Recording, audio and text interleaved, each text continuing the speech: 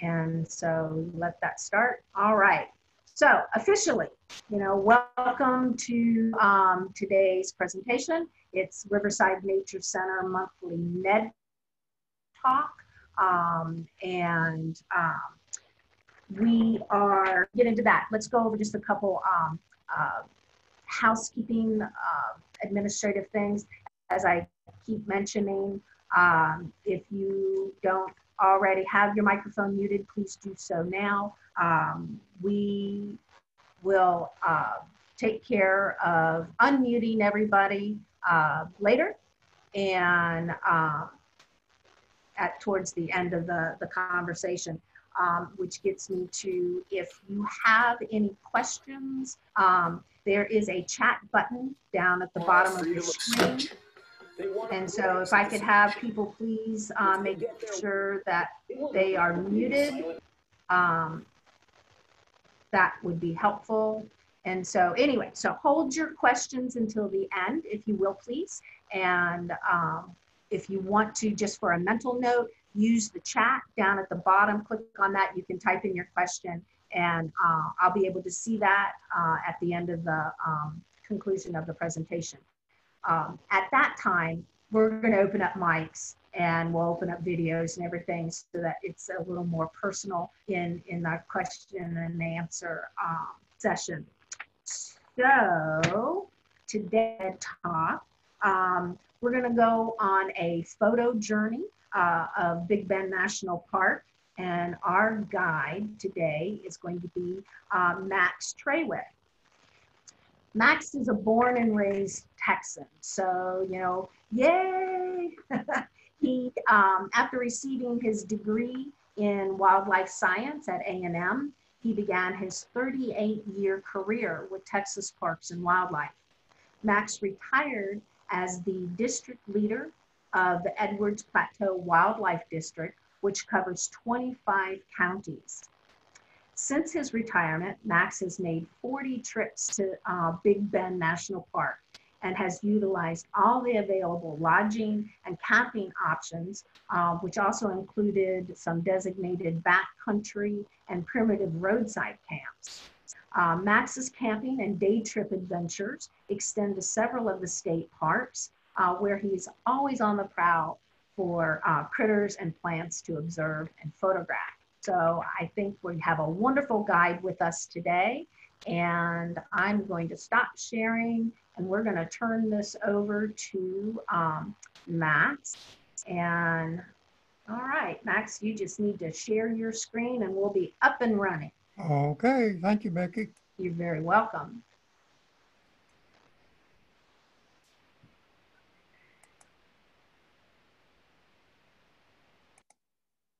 All right.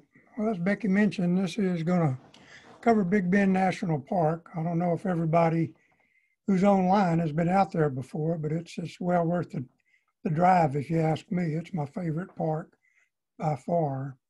I just like the wide open spaces and all the different animals and such. So we're going to cover, uh, a, the topic says, a sampling of the plants and animals and some scenery shots. So let's get started. Um, here's a map.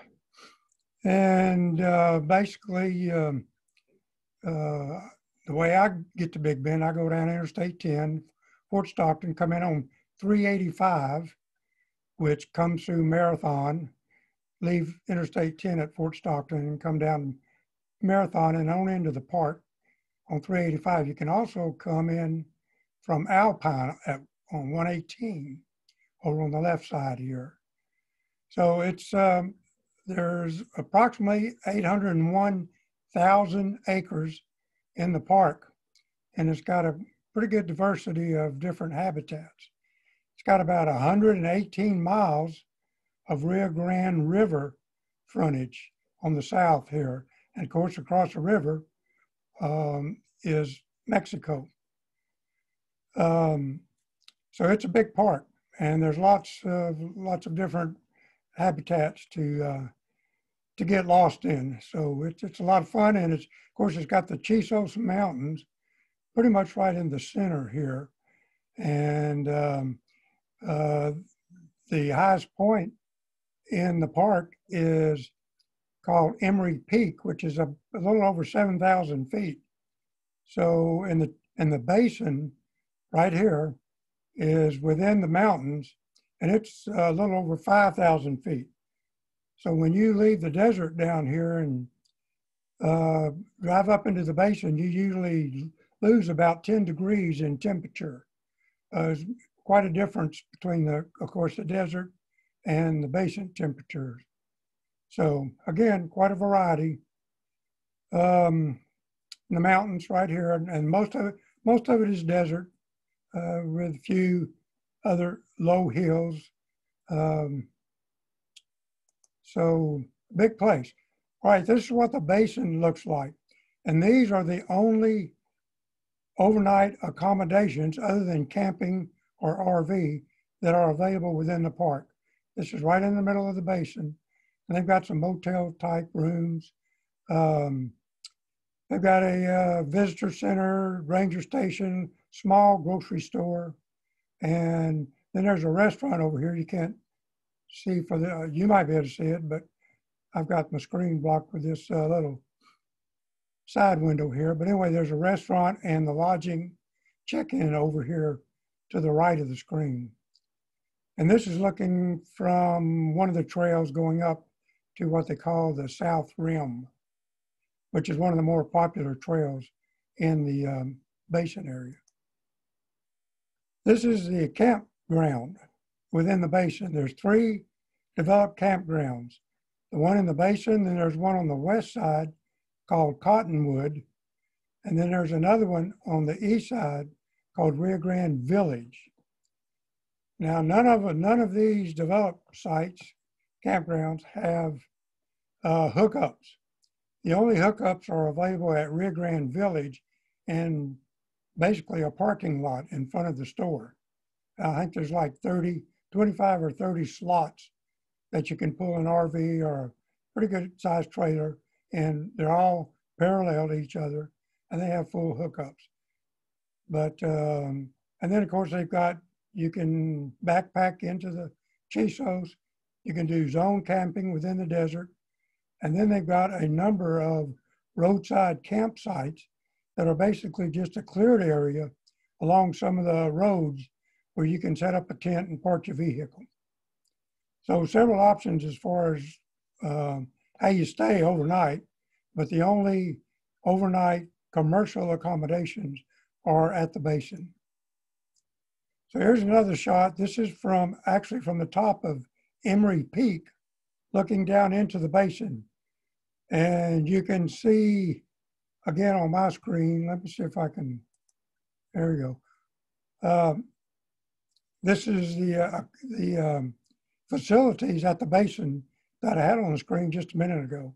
Here's a restaurant over here, and here's a campground in the background.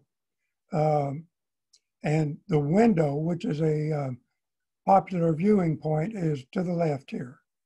So I'm up on top of Emory Peak looking down, and you can see a trail here. I think that's probably Laguna Meadow Trail. There's two main trails to get up into the Chisos, Laguna Meadow and the Pinnacles.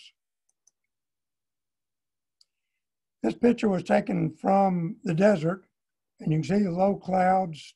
This, these are the Chisos Mountains right here that you can see shortly after you get into the park. You got to drive a little ways because it's another 30 miles or so from the uh, from the north entrance, the way I come in, to the headquarters. You can just see some white spots here in the distance. That's the park headquarters at what they call Panther Junction. That's where Highway 385 meets a road that goes east and west through the park.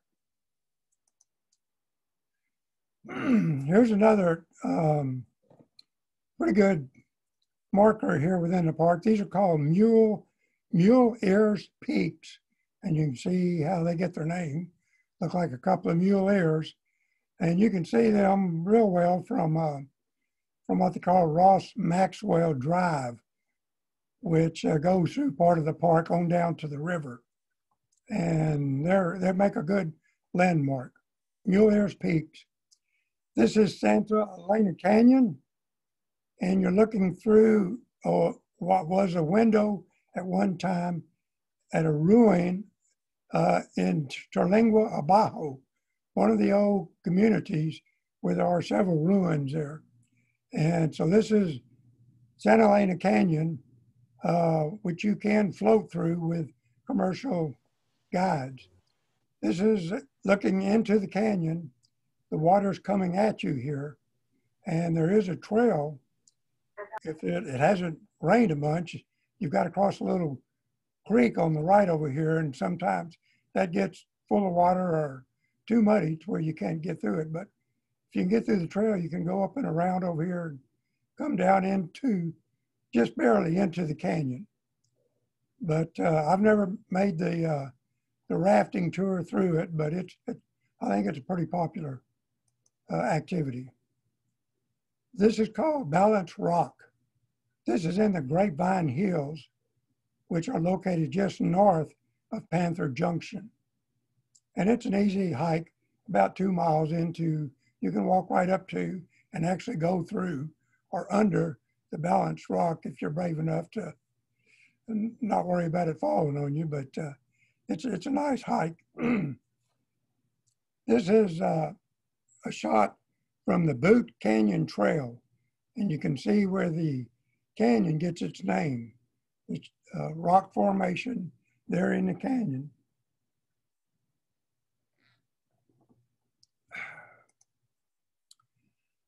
This is a kind of a uh, off the off the grid site. It's called Cattail Falls, and this is what it normally looks like in a in a normal dry period. Now I'm going to see if my video works. I don't know if the sound will come through, but this is what it looks like in a in a wet period during what they call the monsoon. So this is Cattail Falls, running pretty good. It's on the uh, south side of the Chisos Basin. This is another, what they call pour, pour off, P-O-U-R-O-F-F. it's just a spot where like a creek or some low area drains off of a higher, higher area. And this one is called Pine Canyon Pour Off. Let's see if it runs. Again, this is during a wet period. Normally it would be dry and maybe just a trickle coming off the top. It's also, it's about a two mile, pretty easy hike into right here at the, uh, at the pour off.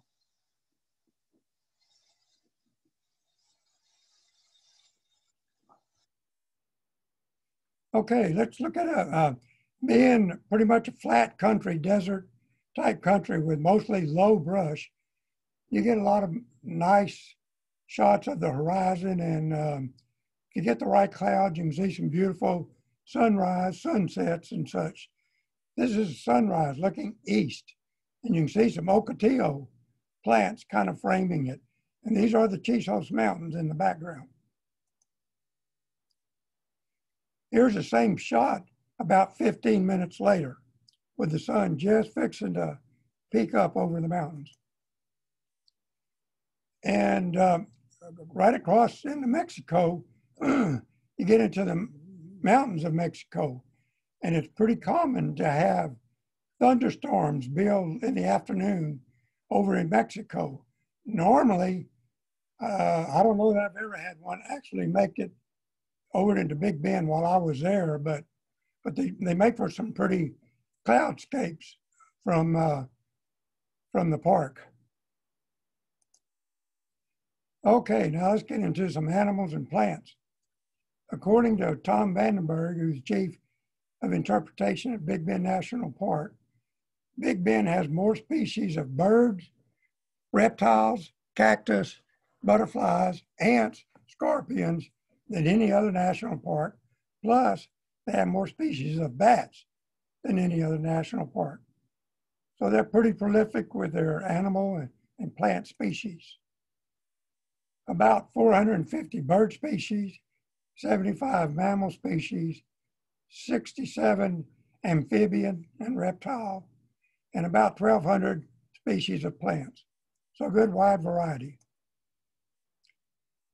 Um, we'll hit a few big, bigger, uh, bigger animals here. These are white-tailed deer. They don't look exactly like the ones we have around Kerrville. These are these are called Carmen Mountain white-tailed deer. They're very common in the in the uh, Chisos Mountains. These were actually taken. This picture was taken at the Basin campground, uh, and you see they're still in velvet. But there, you see them pretty regularly there in the in the basin. The other species of deer in the park is a desert mule deer. And you can see they've got a little bit different tail, black uh, tip to it, white, and then the, the big ears from which they get their name mule deer. And their antler formation is a little bit different also. They mainly occur in the desert and in the um, foothills along the Chisos Basin, along the Chisos Mountains. Javelina are very common. Being a desert, they're real common in the basin and uh, just uh, throughout the park. They do have a breeding population of Mexican black bear that is reestablished in the last, I don't know, 10, 15 years. Uh, but they do see cubs. Uh, this bear was actually in the parking lot of the uh, uh, of the basin uh, lodge area. And there are some cottages off to the right here. And I happened to catch him coming through that parking lot. And here's another shot of him. And got a few pictures before he headed off into the brush. Uh, they do have mountain lion on the park. Uh, they're not very often seen, as you would expect. Very secretive species. I actually took this picture at Arizona Sonora Desert Museum in uh, out of Tucson, Arizona. I've never seen one on the park, but I have seen their sign. They have a good many coyotes. Um, this one was feeding on a roadkill just off the road down to Rio Grande Village one day when my wife and I were headed down that way. And I think it looked like a female to me, and I'm not. I wouldn't be surprised to find out that she may have some pups that uh, back at her den somewhere because she was awfully gaunt. Um, so she might have been feeding some pups. I've seen a number of bobcat. This one was actually behind the store at Rio Grande Village. Um, but they they occur throughout the, the park. a number of rabbits. This is a uh, black-tailed jackrabbit, which are more common in the desert area. And of course, you can see he's got his air-conditioned airs going. They um, use these big ears, big thin, thin ears to uh, uh, dissipate heat. There's a lot of blood vessels in those ears. So uh, he's trying to stay cool as best as possible. Desert cottontail, another rabbit species, digging a form, they'll probably lay down in that form, uh, in that cooler dirt try to stay cool. There are a couple of species of kangaroo rat. I'm not sure which one this one is, either Ord's or Merriam's, uh, but they're a nocturnal species. You'll see them crossing the road, mainly in loose soil areas, sandy areas and such. this is a Texas antelope squirrel. It's a little ground squirrel, smaller than our rock squirrel and tree squirrels. And they frequent rocky areas. Um, they're a neat little squirrel. I don't think he was too happy with me being in his territory. Okay, let's look at a few birds. Uh, Mexican jays are very common in the mountains and they're in the basin. And this, I took this picture uh, at Boot Spring, and apparently somebody has been doing some research on him. You can see this bird has some bands on him. Um, I don't, I'm not sure what the project involved, but this was right at Boot Spring. They're very noisy species, just like most jays are. Acorn woodpecker, very common. Another noisy species of the mountains, uh, very colorful species.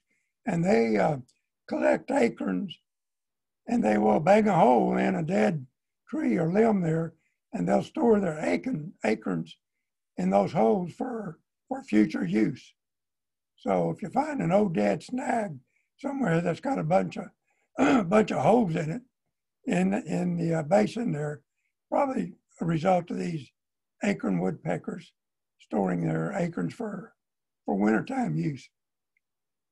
The main species of quail in the park is the scale quail.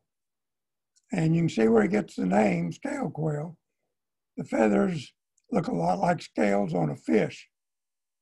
They also go by the common name of cotton top, cotton top quail, because of the white feathers on the top of the head.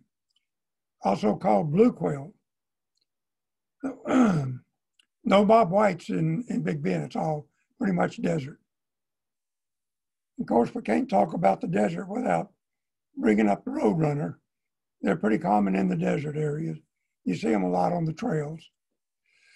And of course, there's a lot of reptiles being in Desert, which is one of their main, main prey species. Another bird species that uh, you'd have to go to a desert somewhere to probably to find is a crissal thrasher. Um, and this was, I think I took this on one of the basin trails. Um, but they're pretty distinctive, pretty easy to, to distinguish from some of the other thrashers. This is a gray hawk. There's been a pair that has been nesting at Cottonwood Campground, which is right on, on the river on the west side of the park.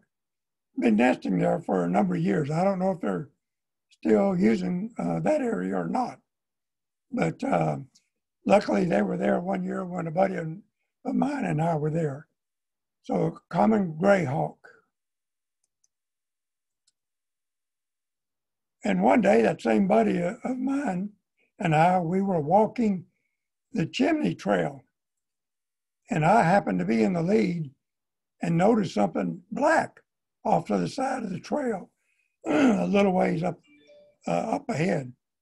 And first I thought it was javelinas, but got a little closer and realized it was uh, common ravens and got even closer and saw what they were doing. They were standing around waiting for this peregrine falcon to finish his meal of blue-winged teal that he apparently had knocked out of the air right before we arrived at the site. So they were, the ravens were hoping to uh, take home some scraps, I'm sure. They do have peregrines that nest in the cliffs uh, in the Chisos Mountains, and they will actually close part of what they call the rim trail during the spring and early summer to keep from um, impacting these peregrine nests.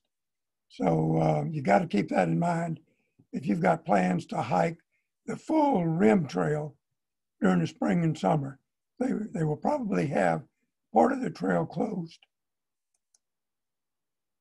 okay, let's move on to some creepy crawler types.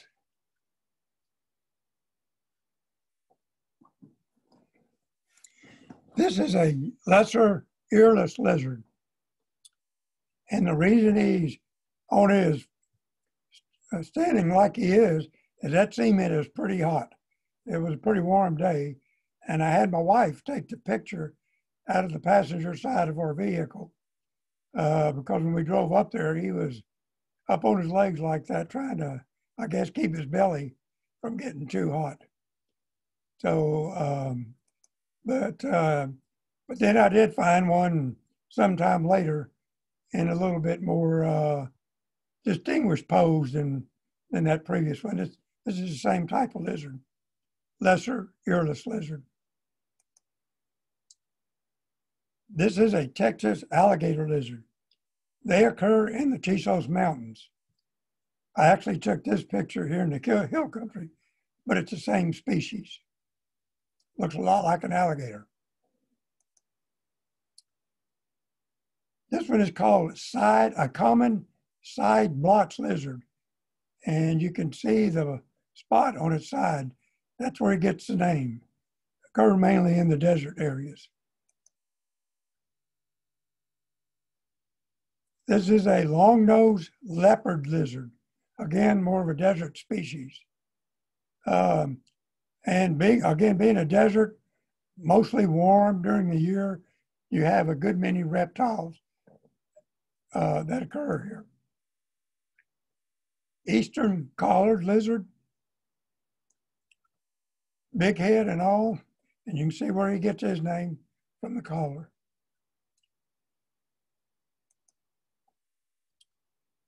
One of the nocturnal lizards, there are several gecko that occur there. This is a Texas banded gecko. And you see he's lost his tail. I don't, I'm not sure what happened to it, but he should grow back part of that tail at least. Um, I've not seen the other species, the reticulated gecko yet, but I hope to make more trips, more trips in the future. They have a couple of uh, of uh, horned lizards that occur in the desert. This is the uh, round-tailed horned lizard. It occurs in the desert area, mostly in uh, mainly in sandy type soils. You see them uh, driving when you're driving some of the back roads. I ran across this box turtle on my way out of the park one day during uh, one of the wet periods. I was hoping to try to make it a desert box turtle, but once I got home and did some more research, I'm pretty sure it's the more common ornate box turtle, which we should have here in, in our area. Um, but I was a little bit surprised to find it along the uh, pavement just north of, of the park.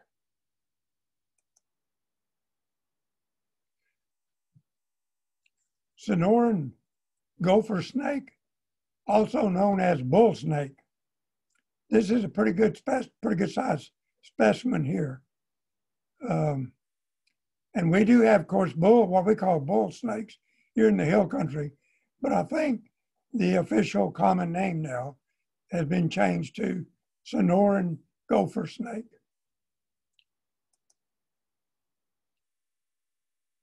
Central Texas whip snake.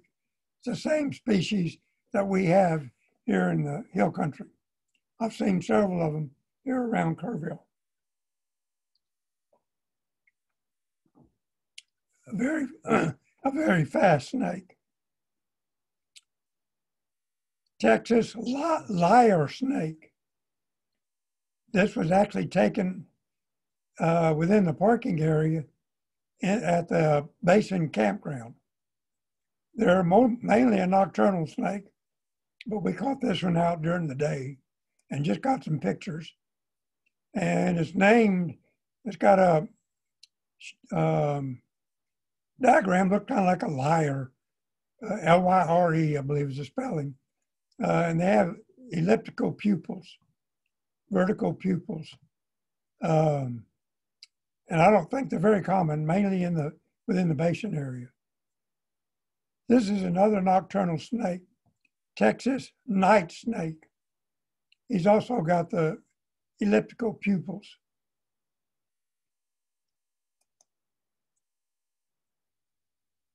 This is called a ring, um,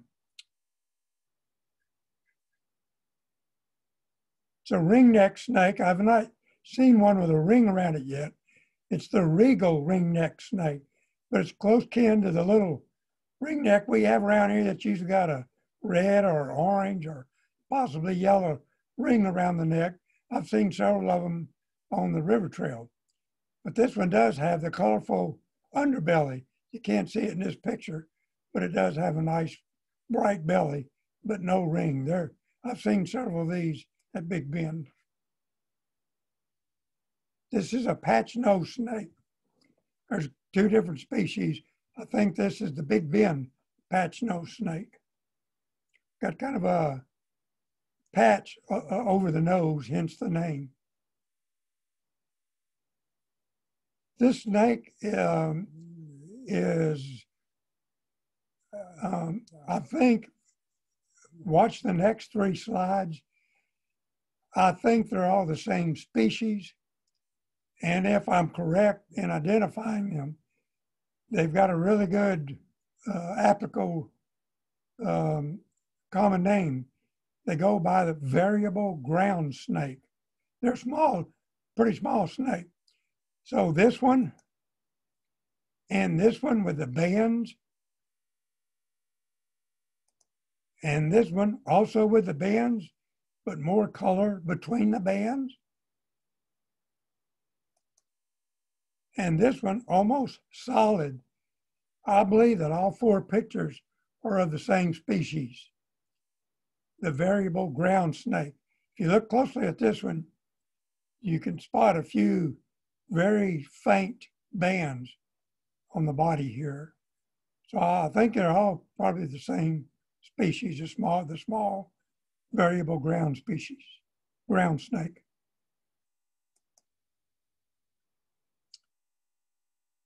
This is a Trans-Pecos rat snake.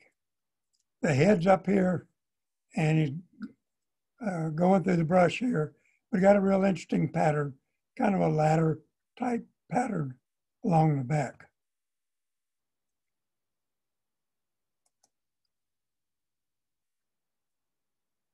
All right, you can you can pretty well if you're going to see any snakes at Big Bend, this is one of the more common ones. So uh, if you're lucky to see one, you can always tell people that claim they saw a pink elephant somewhere. You can tell them, well, that's nothing. I saw a pink snake at Big Bend. But this is a, a pretty much normal coloration for the Western coach whip, which is what this is. It's the same coach whip that we have in the hill country. They just get a little bit more pink or reddish out in the western part of the state. Another very fast snake. Very difficult to get a good picture of them. Always moving usually. Okay. Um, I'm sure everybody's heard of crop crop circles. Those circles in uh, cornfield or some other kind of crop that nobody's been able to explain that I'm aware of uh, out in fields somewhere. You run across this type of circle. I've seen several of them at Big Bend, and I like to call them crap circles, C R A P. Uh, and let me show you why.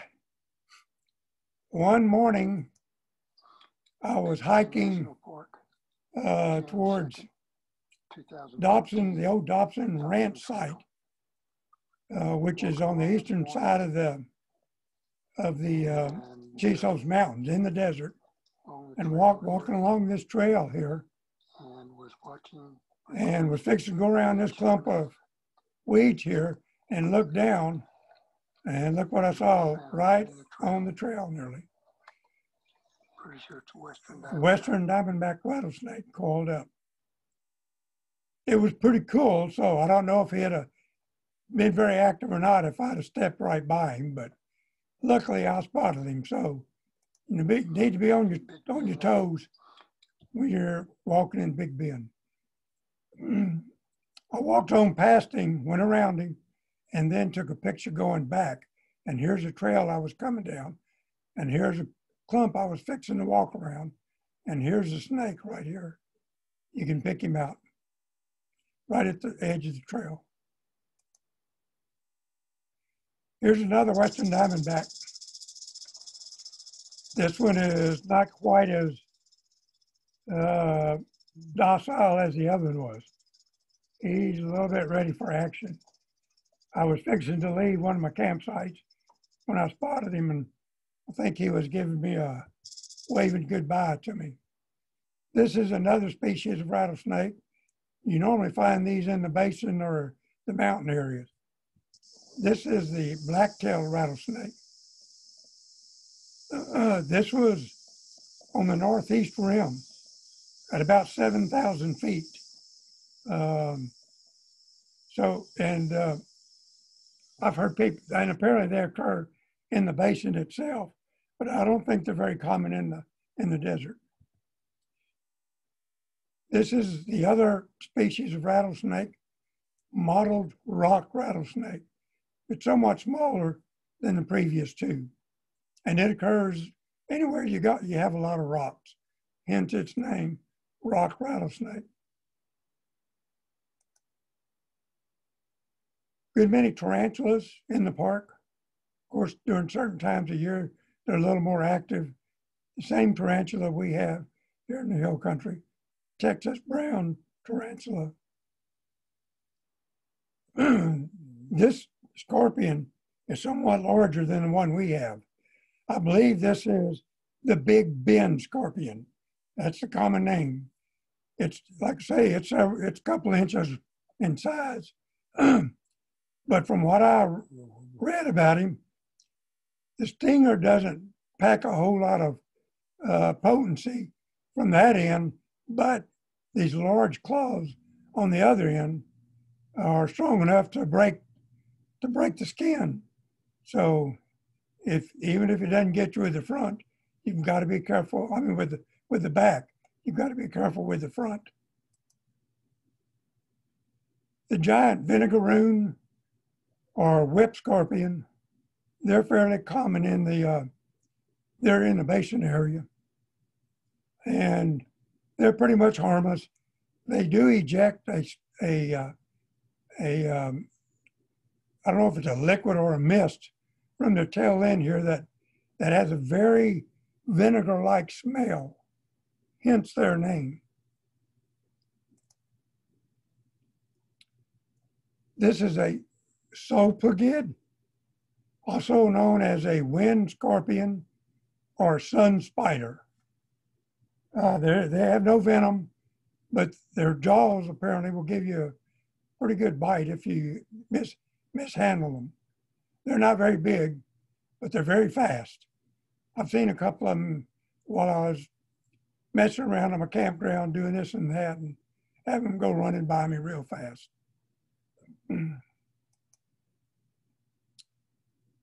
this interesting little critter looked like a little bowl of cotton or a little um, uh, ball of cotton blowing around in the in the dirt.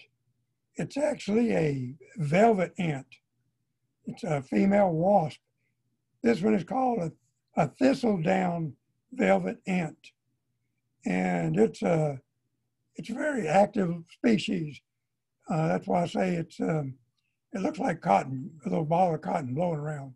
They're not real big, but being a velvet ant, they do have a sting, and they're uh, they're they're flightless. The males do fly, but not the females. Okay, we're going to um, move on into plants now, and here's a picture of a scarlet bouvardia with a hawk moth uh, or sphinx moth feeding on it. So it makes a good um, move going from insects into plants. This cactus is well named. It's called a rainbow cactus.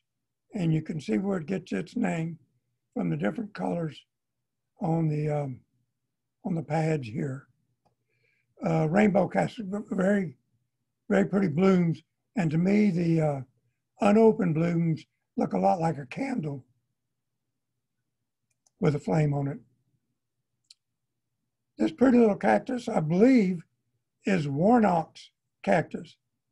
It's named for a well-known, esteemed uh, Sul Ross, Ross professor by the name of Benton Warnock. And there are a number of plants in uh, out in the Big Bend area that uh, have his name. He was a well-known botanist from that area. This is a brown flowered cactus, or let's see, there is another name, rusty hedgehog cactus. And this is as big as the flowers get. They don't open fully. This one's got a beautiful flower and It's a big flower. Um, and it goes by the appropriate common name, um, Glory of Texas. And I just looked out and found one of these in, in full bloom in the desert there. Cane cholla in bloom, very pretty plant. This is very interesting. This is actually a cactus, a thornless cactus. Um, it goes by the common name living rock cactus. And I've never seen the blooms, but apparently, apparently it puts on some uh, small pink blooms when it is um, in bloom. And unfortunately, they're kind of in demand now, and there's uh, there are people that going around digging these things up.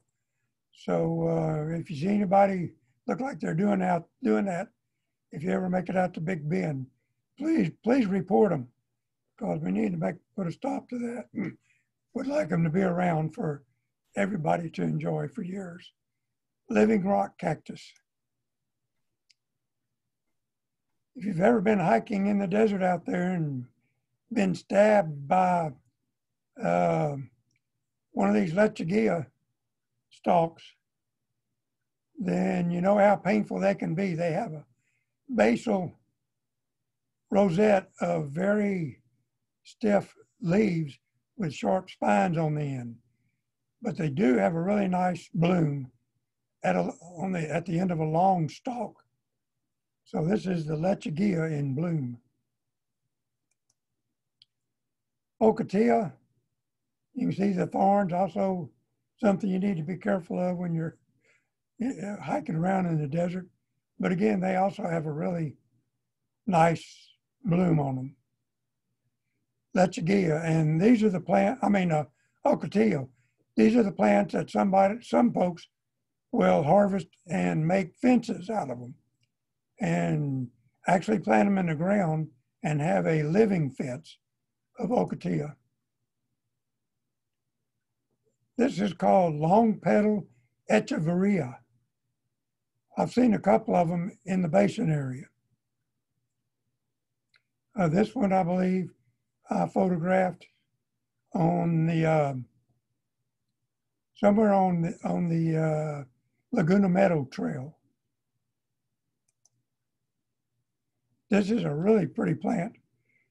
Um, it's actually an orchid. It's called Scarlet Lady's Tresses. This is the plant on the left. Here's a close up of the inflorescence. Very pretty plant. This was on the Boot Canyon Trail, uh, probably at about 6,000 feet or so.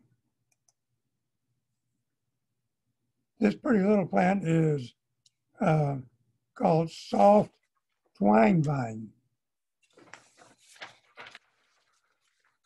It's a, it's a type of sarcos, sarcostemma, which is the genus name. It's got a beautiful, beautiful inflorescence. And this desert plant is, I think the more common name is bladder sage, but I prefer the, the other common name, which is paper bag bush and the um, covering to the seeds, I believe. I don't know. They're, I don't. I'm not sure if they're sepals or petals, but they form this covering that that that looks similar to a paper bag. So uh, that's how they get that one of their common names. This is resurrection plant. And uh, normally, of course, it's being a desert, uh, it's fairly dry out that way. And most of the time when you find it, it'll be kind of shriveled up, look like it's on, the, on its way out, uh, about to die, or it might even look worse than this, and you might think it's dead. But give it a little moisture and it uh, will transfix into a, a nice green plant like this. And that's where it gets the name resurrection plant.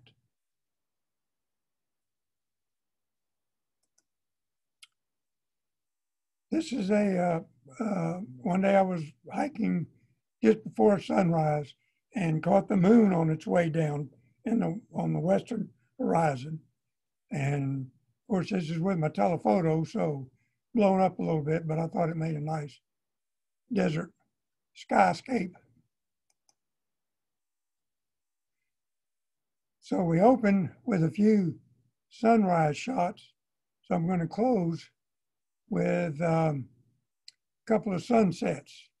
And like I say, with it being open like it is in the desert and not many trees to obstruct your view, you have a lot of opportunities to get some really nice skyscapes, either early morning or late afternoon, or like I showed earlier, possibly some thunderstorm shots.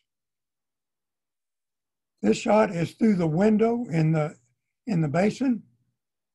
And you can actually, if you're staying there at the basin, at the campground or at the lodge, which is back in this area here, they have a, a paved walkway that goes out to an overlook where you can sit there on benches and whatever and wait for the sunset. And hopefully you get some nice clouds in the west. You'll see a, a nice sun, sunset without going to too much effort to get to your viewing site. Here's another shot through the window. I believe I was somewhere along the window trail when I took this picture. Uh, uh, century plant uh, silhouetted here on the left.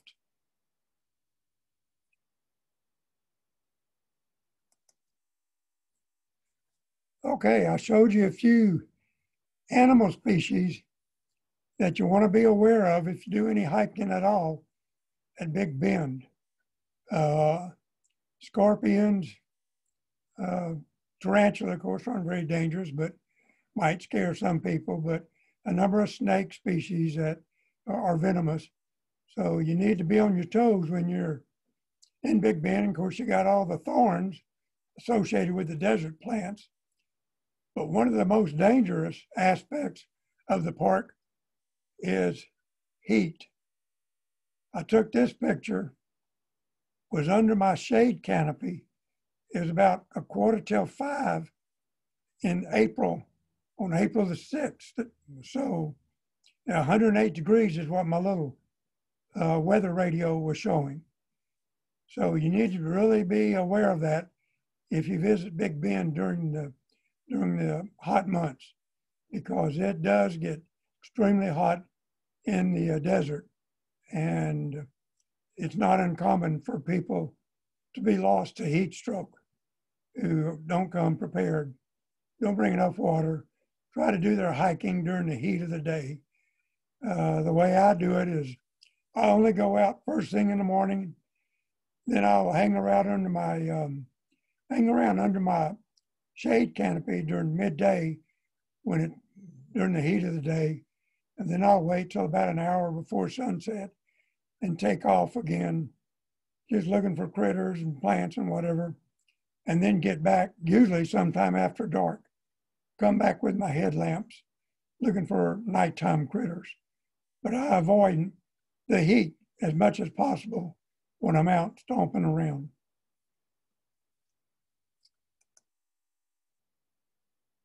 All right, well, I actually made it through in better time than I thought I would. So those are all of the slides and uh, pictures that I have to show, and I think look like we have about 10 minutes left. So I'm going to close this out and see if I can get Becky back. Well, I mean, that's quite quite the um, experience. So thank you, thank you, thank you, thank you, Max. I mean, I, I, you know, I, oh, I'm embarrassed to say this and admit it to this group of people. Um, I, you might stone me. I don't know. I have not had the opportunity to get out to Big Bend yet. And so, you know, I can see Teresa and everybody going, for shame. I mean, yeah, that's embarrassing. So, Max, I mean, this this is just more reason, more reason that you know I've got to uh, make the time and and and experience. Experience is beautiful and gorgeous. I mean, your your pictures are just absolutely phenomenal. Um, so I'm going to shut up because this is not my time. Um, questions. Let's go ahead and um, let's see here. We've got people in our chat um, that have, you know, uh, thanked you, um, Max, for, you know, sharing your beautiful photos and uh, that brought back for uh, Patty uh, some great childhood memories. So, you know, that's, that's fantastic um, that, that that's happened. Um, but so, yeah, let's let's just go ahead and and um, I think that I might be able to unmute everybody. Um, maybe not. I know I can mute everybody. So so no, yeah, I don't see where I can unmute everybody. So if you have a question, you know, unmute yourself and um, fire away. No, no questions. Well, okay. What? I, I have a question. I sent it in the chat, but maybe Oh. you missed it. Um, Mr. Max, what's your favorite memory from all of your trips to the park? Oh, great. Oh man, that that's a hard one. Uh, I actually I'm a big reptile enthusiast, so I uh, pretty much uh, rate my trips out there by the number of snakes that I run across. So uh, five or six or more snake trip really stands out for me. But uh, um, I think running across those peregrine that peregrine falcon on that uh, chimneys trail, which is going which goes through the desert. You know, you wouldn't expect to find a peregrine falcon out in the desert away from water. Uh, but that was that was very memorable in, in um, my thinking, and I know I'll carry that one with me for a good while. But um, I've never had a bad experience out there, and I'm always looking forward to to my next trip. Thank you, sir. Yes, yes, ma'am. So how hard was it, Max, to um, you know narrow down? I'm sure you've got an inventory of photos to, to just present in this short mere period of time. Yeah, uh, I'm not sure exactly how many I've got, but I did have to narrow down a bunch and actually thought that I would probably run out of time with what I had. So it worked out better than I was was expecting. But I, I pretty well covered all the the main animal species. I've got a lot more plant spe- uh, plant pictures, but um, um I think most of the animals and reptiles I I pretty well covered. I have a question. Uh, Okay. Uh, when is a really good time of year in your estimation to go there? Ah, good question. it kind of depends on what you want to see. If you're like me and you uh, enjoy seeing the uh, snakes, lizards, and other things that like the warm months, then spring or summer, if you can handle the heat, or, or late fall. Of course, that's the uh, spring and fall uh, are some of the more popular times as far as other visitors, people. But they do get a lot of I think they're probably the most, um, their busiest time is during the winter. A lot of people go out there during the winter, uh, just for the, mainly for the scenery. And of course, uh, know, the wildlife, your mammal species and what have you. But I prefer the warm months myself. And I have been out there during June and August Wow. during some of the peak heat times. But again, I just stay under my shade canopy, uh, shade canopy during the hottest part of the day and look forward to getting out when it cools down a little bit and see what other kind of critters are stirring after dark or just before dark. so it depends on what you're uh, looking for, but um, Big Bend has become more popular since I first started going out there in 2007. So it's um, you need to make sure you call ahead if you're wanting to stay in a lodge, which has some really you know really nice rooms. They've got a nice restaurant there, so you can eat there, and um, they've got some some old stone cottages that were built by the uh, CCC that you can rent also. So there's several options to stay there within the basin. But um, when you go, it's pretty much a matter of, of what you're hoping to see. If you've never been, then as far as I'm concerned, any time would be a good time Okay. to get out there. There are there's uh, you can get around uh, on several paved roads and see a good bit of the scenery. Yeah. Thank you. Yes, ma'am. Questions? Anybody? No? Well, Max, um, I can't thank you enough uh, for Riverside Nature Center and, and all our viewers today for joining us and, and taking us on this journey.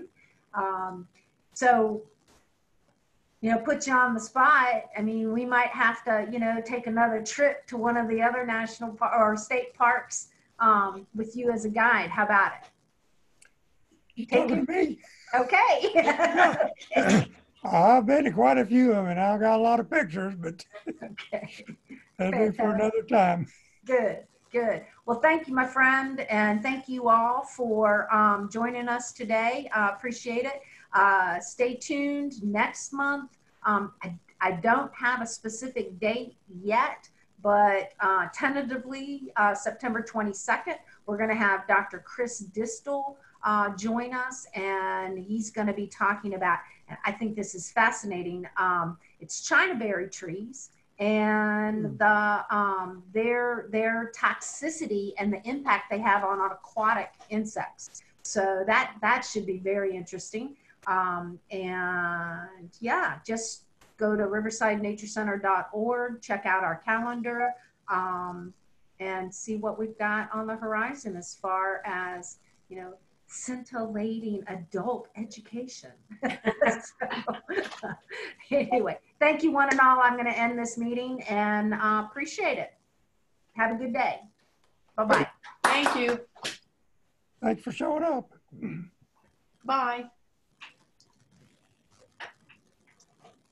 Ready? Fire.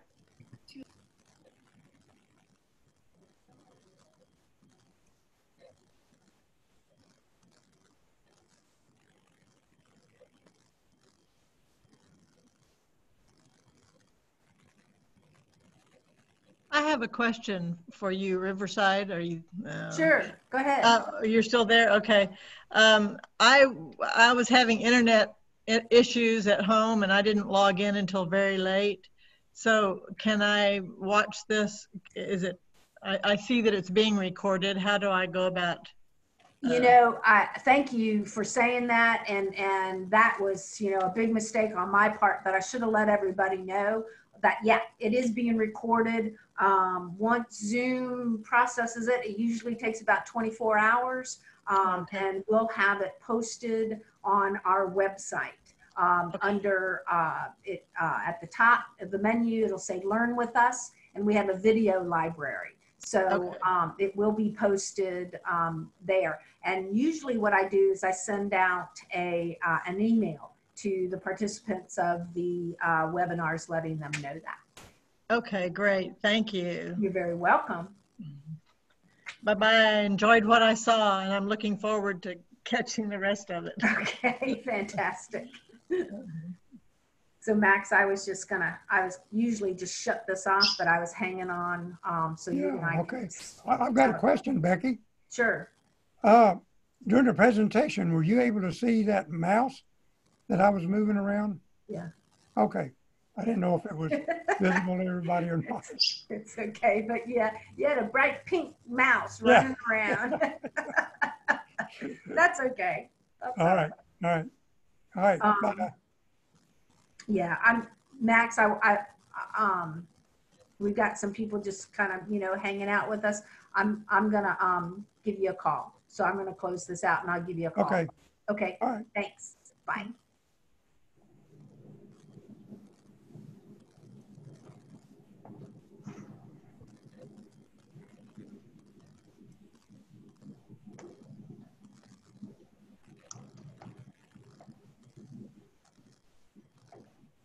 Okay.